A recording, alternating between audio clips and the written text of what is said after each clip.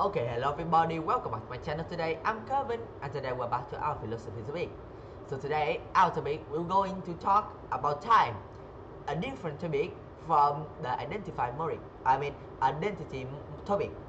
So today, the time topic we're gonna talk is a start topic that we will go to get to know about what is time in philosophical. So let's come straight into our topic. So first, before we're going to talk into how nonsense and how problem exists in time topic, we could go to talk or review against one more time what is the time in theories. Uh, so the time is the way we use to call something that already happened, will happen or happening. So the time is just time. It means that it have a lot of way to go to like yeah explain about time. But simply time is something that's going to move as it's not a physical thing, but it's something that allow everything to move. And if time didn't exist, everything cannot keep going, cannot keep moving, or even cannot keep exist. So that's simply about time. Now let's come to the details of time. So in details, time has three parts. The first part is the past. The second is the present and the third is future. So this is three simple parts of the time. If the time miss one of those things, it cannot keep going to exist because the time will not go in to show enough of the identity that is mean in the word of itself. So that means the time if cannot show enough quality of identity of time, so it cannot be called time. Yeah, it's a little bit complicated, but that's how time works. So that's just simply about the detail of time. Now let's come to our main problem. That the time is something that will be called as I say past, present and future. But still, in theories, a lot of philosophers figure out that time is having a lot of nonsense and contradiction. Why would I say that? Because in theories of philosophical, something can just be identified by one theory. For example, in the identity topic, we already talked about last video, so we could see that it just can be identified by mind topic, brain topic, or body topic just one of those, I mean theories, not to make, sorry, just one of those theories. But now, when we talk about time, we could say that it have three theories, that the theories about past, the one about present, and the one about future. So, it's having a lot of complicated to know about time. But let's just come into an examples right now. So, there is a guy that don't understand why what is a contradiction? So we will go into explain what is contradiction first before we go into the conversation of two people to figure out what is the nonsense of time. So the contradiction is the way we're talking about something in theories that not making sense when there is have more than one answers and those answers cannot be exist together in one question. So that's just how contradiction work. So there is the way we are this is the way we are going to explain about the nonsense of time. So we've just said that all events have all the properties of past present and future. But these properties are in come uh, okay let's say that those uh, those theories and those properties cannot exist together in one time. So this is why because when you are living you guys just live in the past live in the present or live in the future once a time. For example i'm talking i'm recording video right now so i'm living in present. If i say i used to play soccer when it comes to afternoon. So that means i talking about the past. And when i say i will turn off my device after I record the video. So that means I'm talking about future. We just need, uh, can go in to talk about one of three parts that exist in time.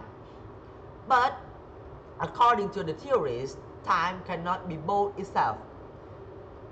It means that the time can just be past, present, or future. But we use past, present, and future on to just explain about time. So that's the nonsense of time theories. You guys could see, yeah, well, maybe it's not at the same time, but that's not the problem. Because the problem is when something is identified, it cannot going to change every day. Because something when something is identified as a person, identify like who he is, who is he, and what is his name. Those things cannot change except when those guys going to make a fake name or uh, fake information about himself. But yeah those information is something to identify someone and it cannot be changed so easily. Or it almost cannot change. So that's the second nonsense of time. Now let's come to how the philosophers think about it so you guys can see the time have a lot of nonsense just in theories because in reality we already accept time as a way for us to know how and what time or when to do something. So that's what time work in reality a little bit different and more simple than in theories.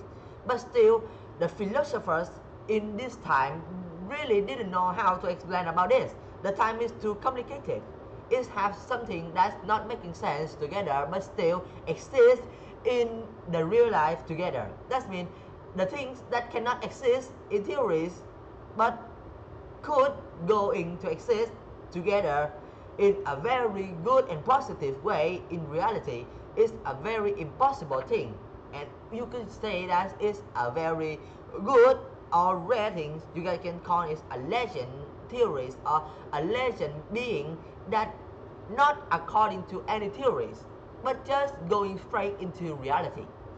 But still, that's just what we think about time in reality. And in theories, the philosophers still cannot go in to find out the best answer or an exactly answer for how we look about time in theories and how to explain it.